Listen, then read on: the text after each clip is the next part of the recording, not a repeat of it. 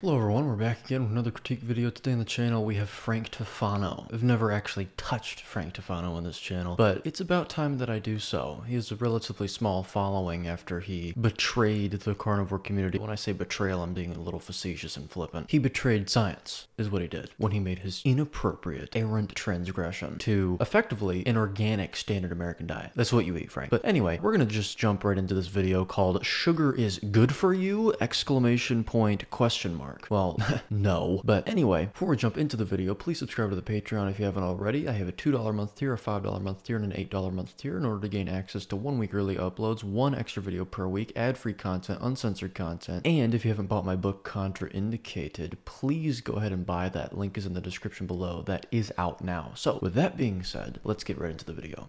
This anti-sugar crusade isn't making anyone healthier. And it actually, in many cases, is, especially people with diabetes, that being a disease characterized exclusively as chronically elevated blood sugar and nothing else, a disease that is measured as such and diagnosed as such. But okay. Popularity of Diet Coke, keto style foods, low carb, all of these sugar substitutes people are low carb isn't a sugar substitute per se. The former two things are not exactly indicated for human physiology, and I don't exactly condone those. I especially don't condone diet soda, especially diet coke, aspartame, which by the way, I wrote about extensively in my book in chapter 4. Please go ahead once again buy that. Aspartame breaks down into methanol, which is wood alcohol. It's not the same thing as ethanol, which is drinking alcohol. It's the entire origin of the term blind drunk. It makes you blind. Does that mean aspartame will make you blind? No. Each time that you drink drink aspartame or consume aspartame, it is vastly small of an amount relative to how much is required to cause blindness. But there is such a thing called accrual. So you speculate what you wish to with this information. Poisoned.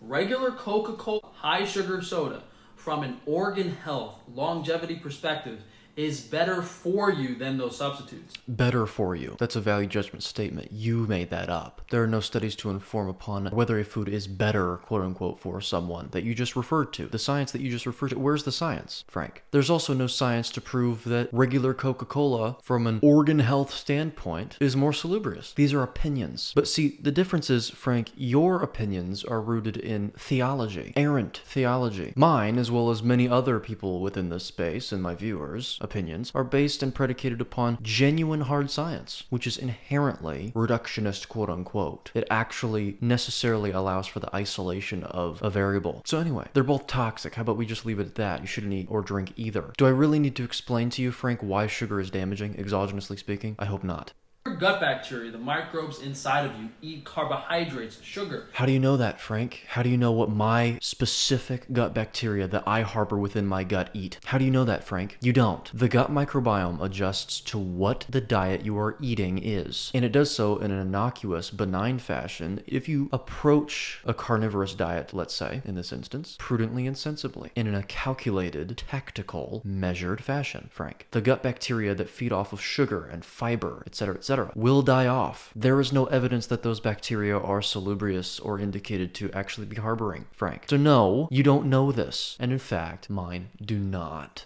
It's their fuel to stay alive.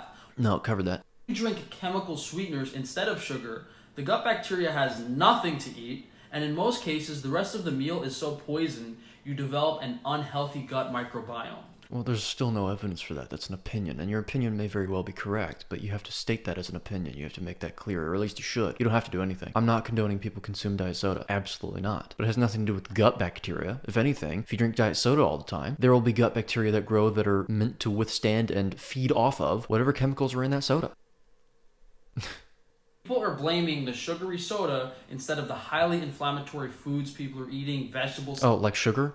Like sugar, Frank? Sugar necessarily causes inflammation. Let's take glucose, the prototypical sugar, the one that the body creates endogenously on its own. Glucose, exogenously speaking, is a toxin. Why? Because it is an aldehyde. It is an aldohexose, six carbon. Aldehydes and aldehyde functional groups have the propensity to destroy lipid rafts, tear cell membranes to pieces, bind to DNA, and cause mutations to it, and in a high enough concentration will kill cells outright. Absolutely. They do this by forming covalent bonds with proteins within your body Not just proteins, though. Hemoglobin, for example. It's what the A1C measures. That necessarily causes inflammation. Why? Because inflammation is a pre programmed response that occurs within the body when it has perceived damage to tissues, number one, which glucose I just elucidated causes, or a potential invading pathogen, which, after glucose deranges proteins, the body views those proteins as foreign and therefore potential pathogens. So glucose causes inflammation through both mechanisms. Frank, chronic systemic inflammation is the primary driver and cause of every major killer in the world right now,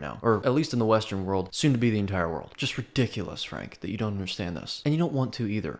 Oils, chemical preservatives. Yes, the seed oils and the preservatives do also cause inflammation. It doesn't mean that sugar is completely exonerated here and that you should exculpate it like you are right now. negative flavorings that plague almost every meal. Next time you get fast food, try having a regular soda and a plain burger instead Don't do that. of a Diet Coke with fries.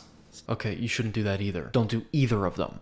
Much better you feel. Even if you simply feel better, that does not mean that what you did was indicated. Sorry, I feel better after taking ibuprofen, given my inflammatory condition that is still extant to some degree. Does that mean that I should be taking ibuprofen all the time? No, it doesn't, Frank. So just absolute nonsense. A quick little terse, brief video here. So if you enjoyed the video, please leave a like, subscribe to the channel, leave your thoughts in the comment section below, and also once again subscribe to the Patreon if you haven't already. And buy my book, Contraindicated, a closer look and revision of mainstream health axioms that have perpetuated illness, disorder, and disease for over a century, as well if you haven't already, once again. And also, speaking of inflammation, if you're further trying to ameliorate inflammation and you've already adopted a carnivorous diet bereft of any plant material or carbohydrates to speak of, I would recommend referring to the link on the screen below, the Cerule link. And before doing that, I would recommend learning about those products by referring to the video in the top right corner of the screen called Cerule Products, if it decides to show up in the top right corner of the screen. If not, it is in the description below, as well as the interview between myself and Professor Bart Kay elucidating and explaining these products in thorough detail, as well as the business of Cerule itself. So please go ahead and refer to that link below to save 10% when signing up for monthly deliveries. And also email me at edgoeke14 at gmail.com if you have any questions and or would like to know how to receive those products for free, because of course, who wouldn't want those products for free? So with that being said, join me next time when we react to someone that has absolutely no clue what they're talking about and espouses and spouts a bunch of errant nonsense like Frank